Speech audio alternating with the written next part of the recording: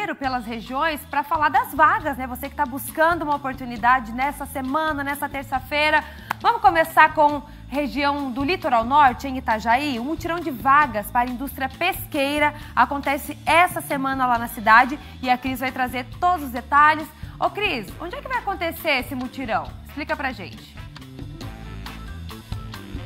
Bom dia, Maria. Isso, o mutirão faz parte aí da Semana do Pescador. São mais de 170 vagas na indústria pesqueira, tanto nas áreas operacionais como administrativa. O mutirão acontece nesta quarta e quinta-feira no balcão de empregos, que se localiza na rua Manuel Vieira Garção, número 120, no térreo, no centro de Itajaí, a partir da uma e meia da tarde até e meia. É importante o candidato trazer um currículo, um documento com foto e a sua carteira de trabalho. Lembrando, o mutirão acontece nesta quarta e quinta-feira, dia 3 e 4. O candidato já passa por entrevista e tem a possibilidade aí de contratação imediata. E outras vagas, o balcão oferece mais de duas mil, podem ser acessadas pelo site do Balcão, que você acessa aí pelo QR Code que aparece na sua tela. Volto contigo, Maria. Muito bom, Cris. Obrigada pelas informações.